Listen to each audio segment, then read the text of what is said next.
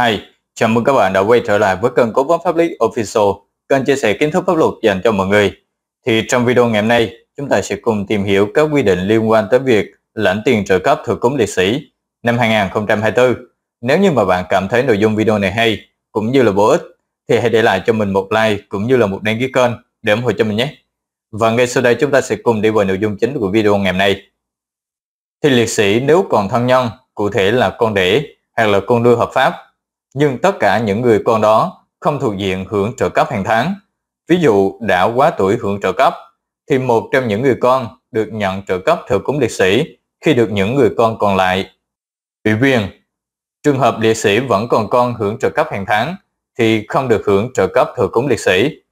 Tiền trợ cấp thờ cúng liệt sĩ hiện nay là 1 triệu 400 ngàn đồng cho mỗi liệt sĩ mỗi năm. Trợ cấp thờ cúng liệt sĩ được thực hiện từ năm Sở Lao động Thương binh và Xã hội ban hành quyết định. Trường hợp người hưởng trợ cấp thờ cúng liệt sĩ qua đời trong năm nhưng trước thời điểm chi trả trợ cấp thì trợ cấp thờ cúng liệt sĩ của năm đó sẽ được chi trả cho người hưởng trợ cấp thờ cúng khác. Để được lãnh tiền trợ cấp thờ cúng liệt sĩ, cá nhân chuẩn bị hồ sơ gồm đơn đề nghị hưởng trợ cấp, bản sao chứng thực từ bàn tổ quốc ghi công và văn bản ủy viên gửi Ủy ban Nhân dân cấp xã nơi thường trú và bưu điện hoặc nộp trực tiếp tại Ủy ban. Ủy ban Nhân dân cấp xã trong thời hạn 5 ngày làm việc kể từ ngày nhận đủ giấy tờ sẽ kiểm tra, xác minh, xác nhận đơn đề nghị, lập danh sách kèm theo hồ sơ gửi Phòng Lao động Thương binh và Xã hội. Phòng Lao động Thương binh và Xã hội trong thời hạn 7 ngày làm việc kể từ ngày nhận được giấy tờ có trách nhiệm tổng hợp lập danh sách gửi các giấy tờ theo quy định đến Sở Lao động Thương binh và Xã hội. Sở Lao động Thương binh và Xã hội trong thời gian 12 ngày kể từ ngày tiếp nhận đủ hồ sơ, có trách nhiệm kiểm tra, đối chiếu hồ sơ của liệt sĩ đang quản lý,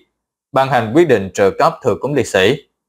Trường hợp hồ sơ gốc của liệt sĩ do địa phương khác quản lý, thì Sở Lao động Thương binh và Xã hội có văn bản đề nghị nơi quản lý hồ sơ thực hiện di chuyển hồ sơ liệt sĩ, kèm văn bản xác nhận chưa được giải quyết chế độ trợ cấp thừa cúng liệt sĩ. Thời hạn giải quyết là trong khoảng 24 ngày kể từ ngày nhận đủ giấy tờ hợp lệ. Thời gian cụ thể được quy định tại từng bước của quy trình thực hiện như đã vừa nêu. Theo quy định pháp luật, thì người đã hy sinh vì sự nghiệp cách mạng giải phóng dân tộc, xây dựng, bảo vệ tổ quốc, làm nghĩa vụ quốc tế, hoặc vì lợi ích của nhà nước, của nhân dân, thì được cơ quan có thẩm quyền xem xét công nhận là liệt sĩ khi thuộc một trong các trường hợp sau đây. Thứ nhất là chiến đấu hoặc trực tiếp phục vụ chiến đấu để bảo vệ độc lập, chủ quyền, toàn vẹn lãnh thổ, an ninh quốc gia. Thứ hai là làm nhiệm vụ quốc phòng, an ninh trong địa bàn địch chiếm đóng, địa bàn có chiến sự, địa bàn tiếp giáp vùng địch chiếm đóng. Thứ ba là trực tiếp đấu tranh chính trị, đấu tranh binh vận có tổ chức với địch. Thứ tư, hoạt động hoặc tham gia hoạt động cách mạng, kháng chiến bị địch bắt, tra tấn, vẫn không chịu khuất phục, kiên viết đấu tranh hay thực hiện chủ trương vượt tù, vượt ngục mà hy sinh. Thứ năm là làm nghĩa vụ quốc tế. Thứ sáu, dũng cảm thực hiện công việc cấp bách, nguy hiểm phục vụ quốc phòng an ninh.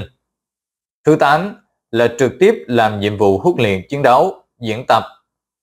hoặc làm nhiệm vụ quốc phòng, an ninh có tính chất nguy hiểm.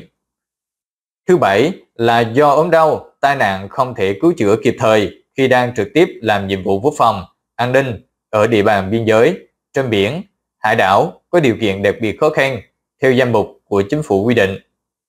Thứ 8 là trực tiếp làm nhiệm vụ đấu tranh phòng chống tội phạm. Thứ 9 là đặc biệt dũng cảm cứu người, cứu tài sản của nhà nước, của nhân dân, hoặc ngăn chặn, bắt giữ người có hành vi phạm tội là tấm gương có ý nghĩa tôn vinh, giáo dục, lan tỏa rộng rãi trong xã hội.